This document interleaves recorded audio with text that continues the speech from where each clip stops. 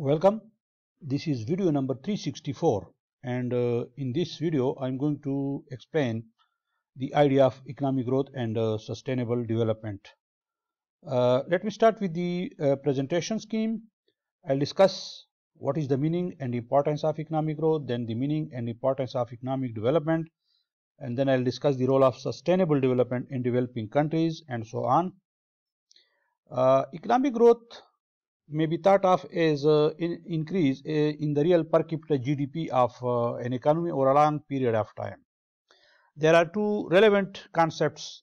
One is GDP and that is the total output for final use produced by residents and non-residents of a country and uh, then we have uh, GDP and GDP does not include deductions for depreciation of physical capital or uh, depletion uh, degrading of uh, natural resources. So this one is GNP that is the total market value of all final goods and uh, services produced by residents and non-residents of a country whereas GDP is equal to GNP minus net income from abroad. So GNP is equal to GDP plus net income from abroad and that is the income which the residents of uh, a particular country receive from abroad for factor services less payments to the non-residents who contribute to the domestic economy.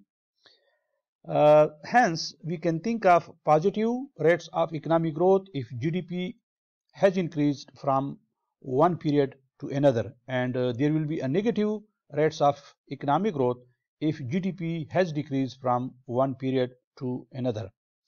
It will be a constant rate of economic growth if GDP remain the same from one to another. Uh, economic development can be thought of as uh, the beginning where economic growth ends. That is, at the heart of economic development is the notion of human well-being. So, uh, it means how do we use economic performance measured by economic growth to enhance people's standard of living or to improve their uh, well-being or uh, standard of living.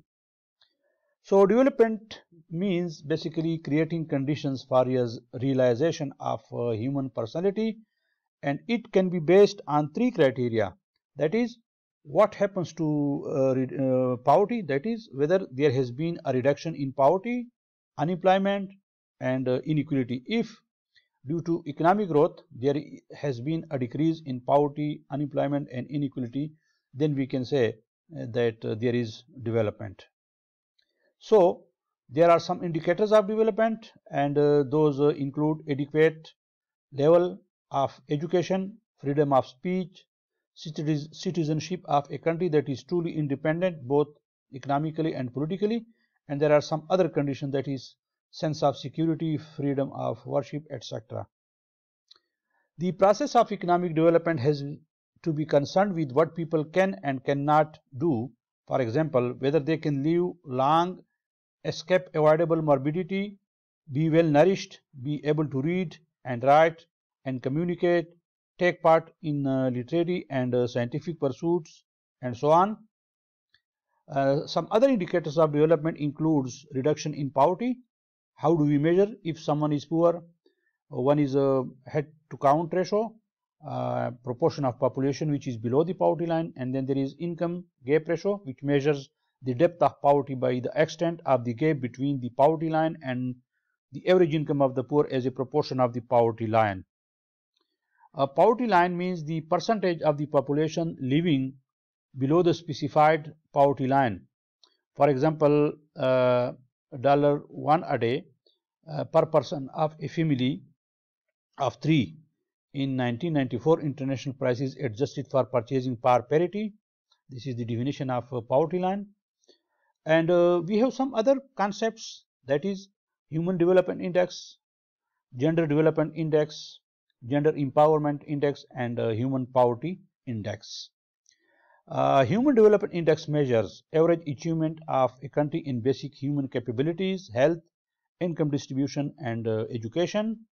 Whereas uh, uh, gender development indicator means achievements in same capabilities as HDI but takes into account of uh, inequalities between women and men and GDI uh, can be thought of as discounted HDI. Then we have gender empowerment measure and it examines whether women and men are able to actively participate uh, in economic and uh, political life and take part in decision making or not. And then we have some other development index and that is human poverty index which focuses on the way the poor and deprived fare in each community uh, uses the same indicators as HDI but combines elements of deprivation to provide an aggregate judgment on the extent of poverty. Uh, HPI um, takes into account longevity that is it uses the percentage of people expected to die before the age of 40 knowledge so HPI uses the rate of literacy lack of decent standard of living that is a composite index which includes percent of people with access to health services safe drinking water and percent of malnourished children uh, below the um, 5 years of age. What do we mean by sustainable development? Based on Seers' definition of development, that is to be concerned with creating conditions for the realization of human personality. So sustainability is a characteristic of a process or a state that can be maintained indefinitely. Therefore, sustainable development refers to a process or a state that is not constrained by time or space.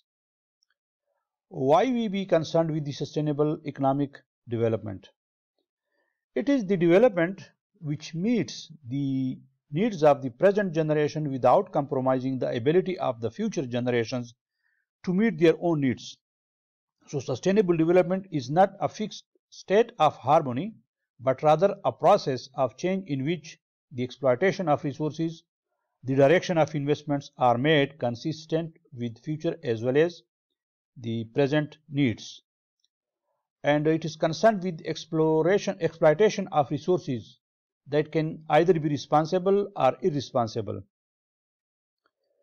So in another way, development which compromises future development possibilities either via excessive resource depletion and waste generation or imposing too heavy a burden of environmental degradation or cleanup, not ensuring that the rents that accrue from current exploitation are invested so that future generations can share. So, uh, the idea is that uh, first there is economic growth that is increase in uh, material output, more output. And then we have development which has a greater emphasis on social objectives like poverty, education and health.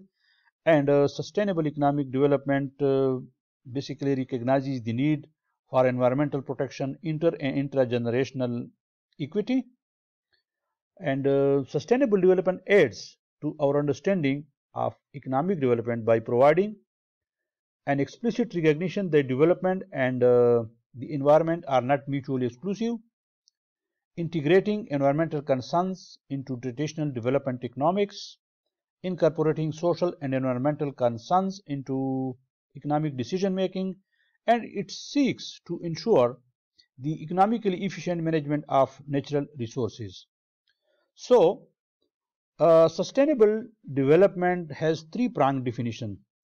There must be economic efficiency and uh, it must ensure social equity and uh, it must also be concerned with preservation of the environment.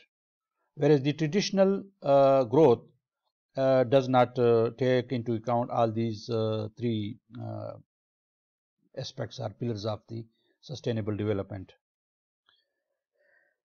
the economic goal is to maximize the net welfare of economic activities while maintaining or increasing the stock of economic, ecological and socio-cultural assets over time and providing a safety net to meet the basic needs and protect the poor. This definition was uh, given by uh, Mohan Munasinghe. This is the interface between the economy and uh, the environment. So the source of function of the environment that is minerals, soils and biodiversity that goes into the economy and uh, the economy, the environment also functions as the sink, environment from waste, farm production and consumption and there are some natural events and so on.